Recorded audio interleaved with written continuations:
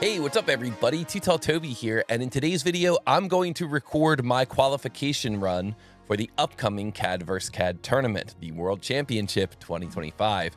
Now, I'm going to do this using Onshape, but if you are using a different CAD system, that's totally cool. You can enter using any 3D CAD system, and we've got a different video that kind of takes you through the step-by-step -step process of how to register and qualify for a tournament. So I'll include that link down below. The tournament is open to any CAD user, and you may want to watch that video to understand kind of the logistics of how to use the website to register and how to qualify for the the tournament and submit your speed run. But today, what I'm going to do is I'm going to actually record my speed run using Onshape. So let's get into it here. We're going to go to tootalltoby.com and we're going to create a free account. And just as a quick reminder here, when you create a free account, you're going to have access to a limited number of challenges in our library. And then if you're ready to unlock the entire library, you can upgrade to our Practice Models Premium membership, and that will unlock over 200 3D CAD challenges. This is a great way to practice and increase your speed and your capabilities within your 3D CAD system. So once you create that free account, you can go here to tournaments and then you can go to the tournaments page. And on the tournaments page, you can see here it says qualify for free. Click here. Now, over time, we might change the way this box looks a little bit, but basically, you're looking for the qualify for free. Click here button. So I'm going to click on that button and then we're going to see here the leaderboard for the current tournament. So the current tournament is the World Championship. And we're going to see here that you can click here for the 2025 drawings, the World Championship drawings.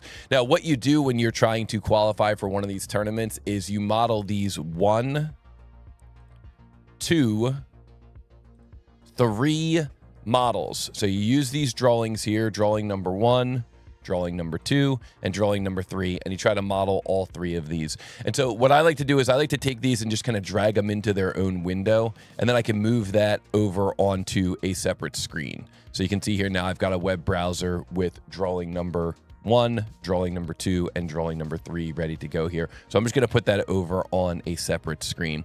Now, the other thing you want to do before you actually record your speed run is practice. You know, practice, practice, practice. That's going to get you uh, into a good space to actually do your speed run in a pretty good time.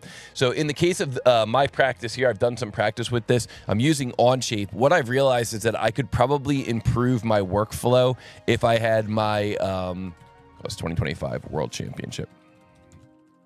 I could probably improve my workflow if I had a couple of things set up on my S key menu. So for example, when I'm working here in feature mode, there's going to be a sheet metal model. It might be good for me to have the sheet metal flange command on my S key menu. And you can see I actually do have that flange command here. There's also times where I'm bringing up the sheet metal, um, just a general sheet metal model so maybe I could add that as well. So customize here, I could just add in that sheet metal model. And uh, also I may want to add the, um, the sheet metal uh, tab command. There's times when I'm using the tab command on that sheet metal model on the second model, so that would probably be useful.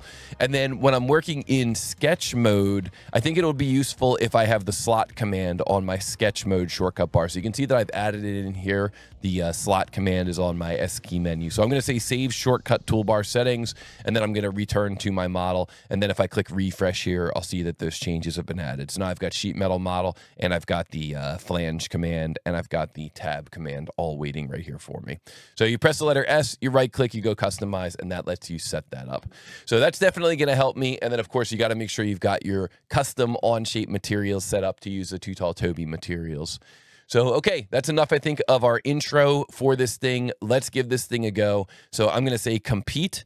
And once we say compete here, you'll see that we've got the official timer for this tournament. And I'm just going to slide this timer over here like so kind of put it over on the side of my screen. You do have to have the timer visible for the entire run. We want to be able to see that timer as you're going through your entire run. And that way we can make sure that you are actually modeling in real time not doing any time manipulation or anything like that.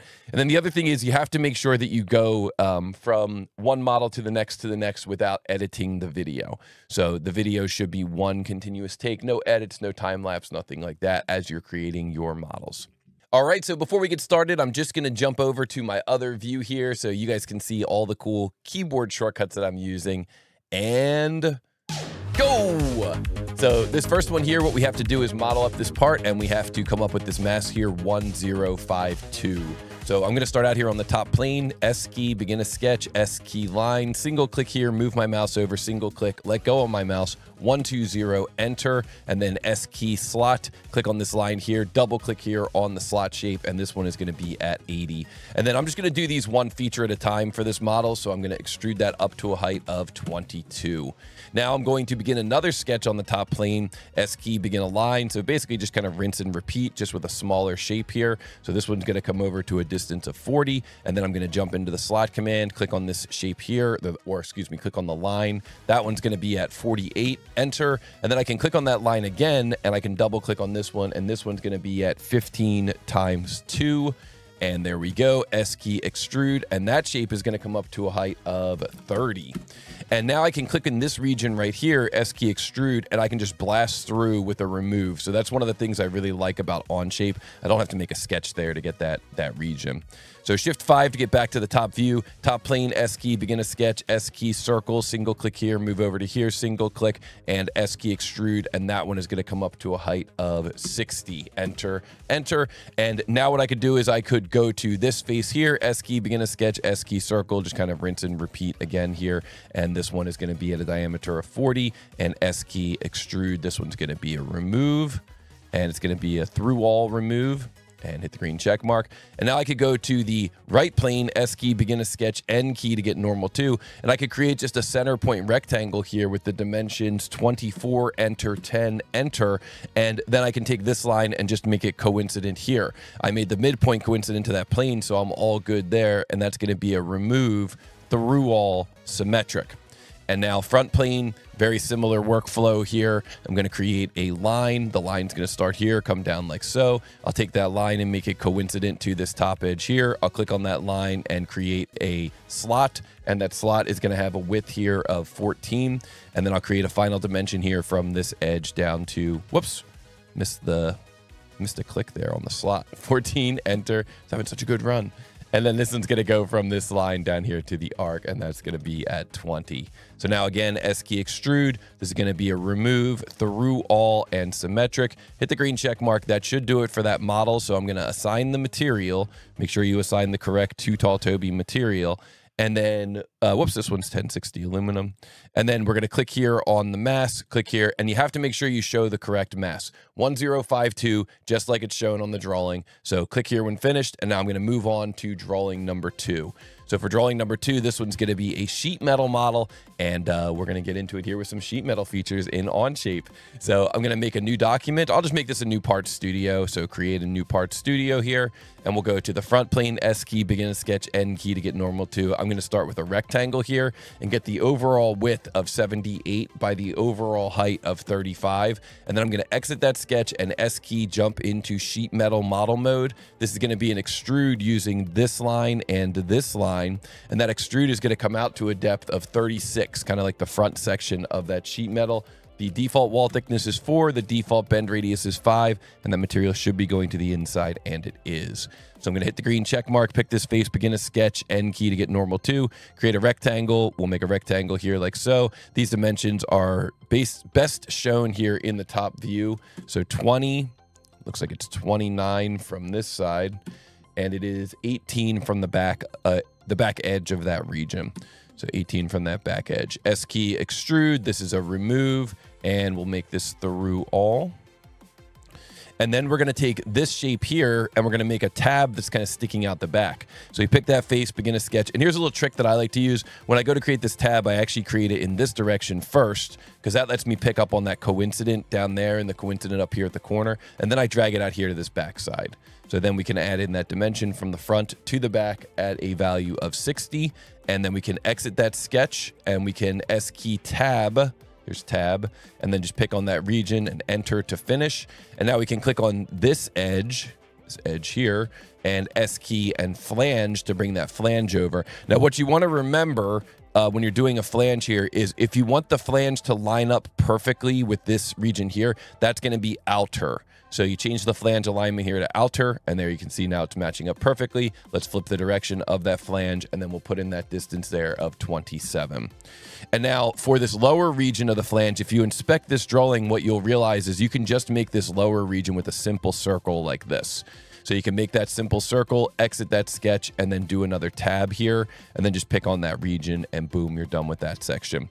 So now we just need to add a slot here to cut out this, this section here. So we'll wake up the center point, come up with a slot. That's going to come up to 15, enter, and then we can S key slot, pick on this line, and that slot is going to have a width of 10 okay and enter enter and then we're going to extrude that and that's going to be a remove through all and so now we need to add some fillets and a chamfer. And one thing to remember about the fillets and chamfer is for the fillet, um, you can you can use the shift enter to chain your fillets together. So I'm going to make this fillet here at 12, and then I'm going to use shift enter, and that takes me right back into the fillet command, and I can just tab down here to the radius and type in the radius of six. It makes it really easy. The other thing you can remember is you can window select here, and sometimes that's easier than zooming in or perfectly getting the uh, corner, and we can get that one corner that's kind of tucked away back there pretty easily.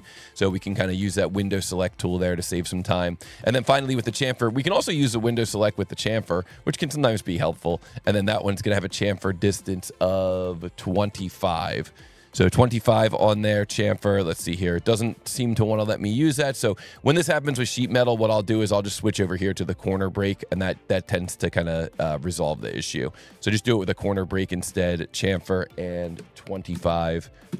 All right, and there we go. And whoops, this one of these fillets didn't work here for some reason.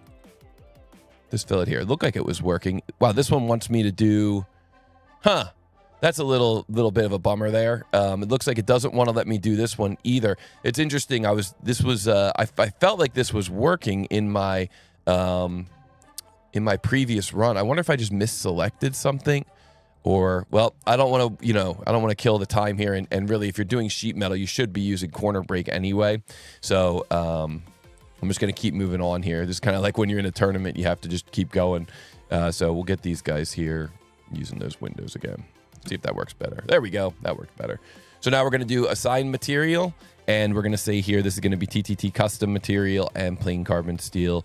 Um, that that kind of hiccup there is because you can finalize your sheet metal model um, and that's a kind of a different topic. But you can see here the goal the goal mass here is 124.1. We are getting 124.1, so we're going to finish that, and we're going to move on to our final model in this challenge. So we're going to create another part studio. Now this one is in inches, so I'm going to start out by going up here to my workspace unit and changing this to inch and changing this one to pounds.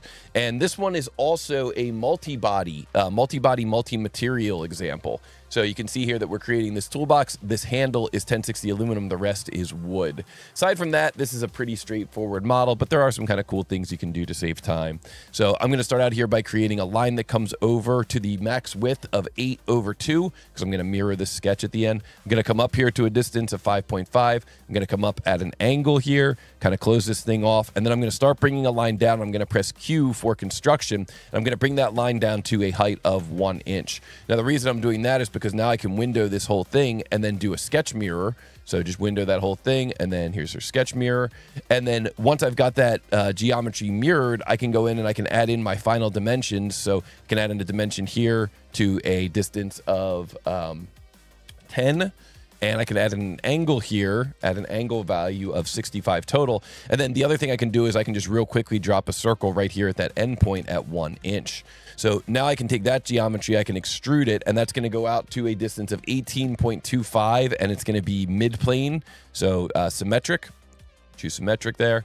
And then I can do a shell command. So let's do a shell command here. I don't have that one on my uh, shortcut bar. So shell and we're going to do a shell command here by uh, a wall thickness of 0.5, and we're going to remove this, this, this, and you don't have to, but you can also remove this. The reason I say you don't have to is because we're still going to blast a cut through there in a second, because currently we've got kind of like a knife edge here at the top of this region. So we're going to cut that off by going to this face here, beginning a sketch and creating a simple rectangle. So I'll make a rectangle here that goes from that lower edge up to here, up to about there. I'll pick on this corner, pick this point here, I, and then I'll just pick this edge and pick this uh, edge here, I. Pick this line, pick this edge. S key extrude, and that's going to go remove through all. And there we go. That cuts those edges so that they're flat, so they're no longer a knife edge. And then I can show this original sketch again, and I can pick on this circle, and then S key extrude, and this is going to be uh, solid here going out to a, oops, pick this region. This is going to be a solid here going out to a depth of 18 point two five as well. I should have picked the region, not the uh, not the edge. This is going to be new because we want this out of a different material, and now we can take the main toolbox and we can say edit material or assign material, and this is going to go to the Too Tall Toby custom library of red oak. And then we can go to the handle and we can say assign material. And this is going to go to the Too Tall Toby custom library of 1060 alloy. And then take the mass properties of both of those. And we're coming up with a mass of 5.96 and that 5.96 is what's shown here on the drawing. So that is correct. And so we're going to stop that one. And there we go 10 minutes and 39 seconds. So that is how you can go through and do your step by step speed run. Now, the thing is, when it comes to this step by step speed run, certainly you have the option of modeling things a little differently. Like if we were to go back to that very first model, you notice that I did one sketch extruded, one sketch extruded, one sketch extruded. Well, what you could do is you could include all this geometry, you know, all three of these, uh, the geometry from all three of these sketches in one single sketch. And then you could extrude and then re-extrude and re-extrude all from the same sketch. You could come up with a totally different workflow if you want. People come up with very creative workflows. That's the cool thing about being able to practice and practice and practice these speed runs.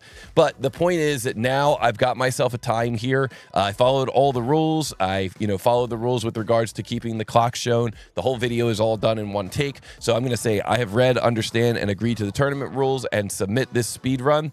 And now we see that our speed run is up here. So mine is probably pretty low here. Yep, mine's way down here. So our speed run is up here. And so what we do is we upload this video to YouTube and then we paste that link into our profile. Uh, there's another video that I mentioned at the beginning of this video. It's down in the description, and that really explains the step by step of how to actually submit your video. So I think that's where I'm going to end this video now. But I hope that you enjoyed this speed run. I hope that you learned some little tips and tricks on how to model some parts in Onshape. And be sure to hit the like button on this video, and be sure to let me know down in the comments what you thought about this video.